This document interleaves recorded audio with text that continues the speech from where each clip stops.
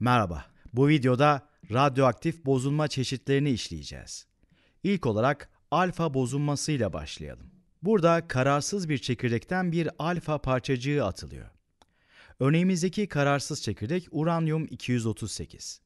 Alfa parçacığıyla helyum çekirdeği aynı yapıya sahip.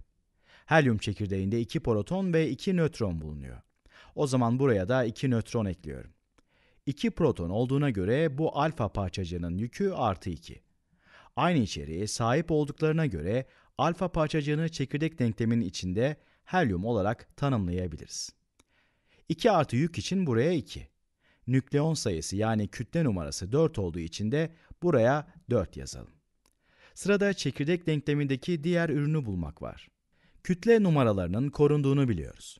Solda 238 tane olduğuna göre sağda da 238 saniye ihtiyacım var. Alfa parçacığının kütle numarası 4 olduğuna göre 234 taneye daha ihtiyacım var. 234 artı 4 sağ taraf için de 238 eder. Bu durumda kütle numarası korunmuş olur. Bir de yük açısından bakalım. Çünkü sonuç olarak yükün de korunmuş olması gerekiyor.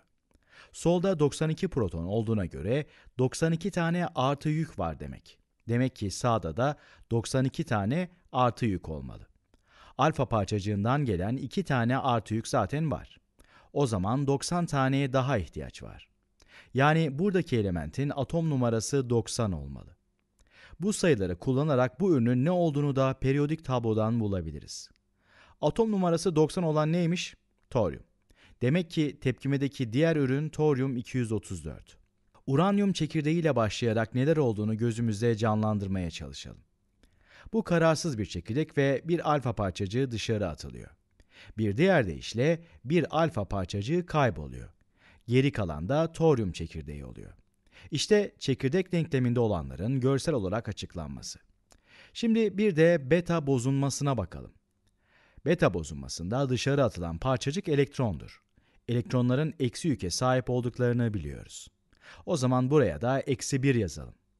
Kendisi ne bir proton ne de bir nötron. O zaman buraya da 0 yazalım.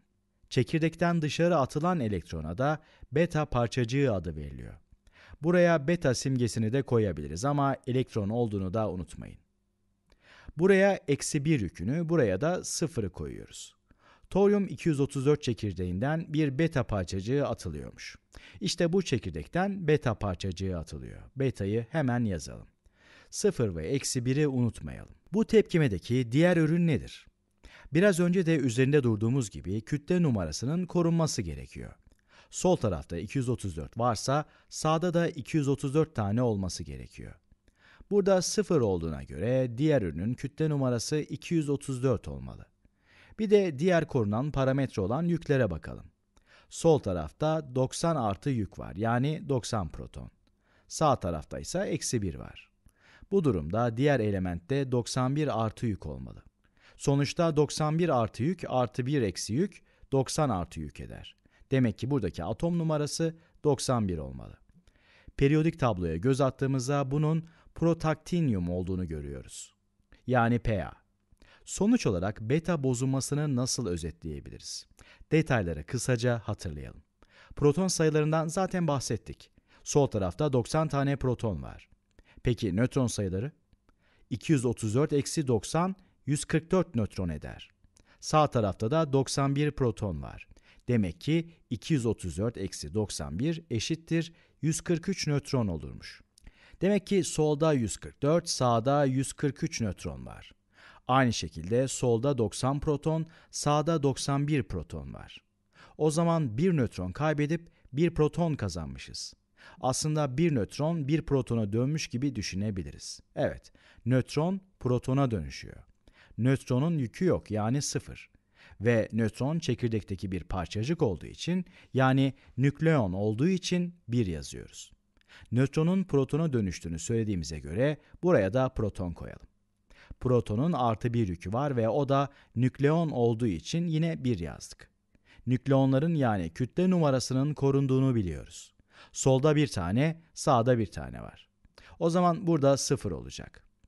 Yük açısından düşünürsek sol tarafta sıfır, sağ tarafta artı bir yük var. Bu durumda burada eksi bir yüke ihtiyacımız var. O zaman bu bir elektron olmuyor mu? Çekirdekten dışarı atılan bir elektron yani beta parçacığı. Aslında bir başka şey de anti tanecik üretmiş olmamız. Ama bu videonun konusunun bu olmadığı için onu şimdilik es geçiyorum. Evet, nötron protona dönüşürken çekirdekten bir tane beta parçacığı atıldı. Aslında bu olay zayıf kuvvet tarafından kontrol ediliyor. Çekirdekte daha birçok şey olup bitiyor ancak biz onları bu videoya eklemedik. Burada önemli olan nokta bu çekirdek denklemini gördüğünüzde onun beta bozulması olduğunu anlamanız ve de denklemdeki her şeyi yazabiliyor olmanız. Son bozulma örneğimiz de gamma bozulması. Buradaki yükü ve kütlesi olmayan gamma ışınları açığa çıkıyor. Yani sadece enerji olarak düşünebilirsiniz.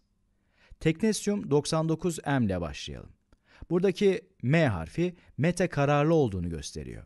Yani bu çekirdek uyarılmış halde ve fazla enerjisi bulunuyor. Uyarılmış durumdan kararlı hale geçmek için de enerjisinin bir kısmını gamma ışıması olarak dışarı veriyor. Buraya gamma ışınını da çizelim. 0 ve 0. Her iki taraf da 0 olduğuna göre diğer sayılar bundan etkilenmeyecek. Solda kütle numarası 99 ise sağdaki de 99 olmalı. Solda 43 artı yük olduğuna göre de sağda da 43 artı yük olmalı.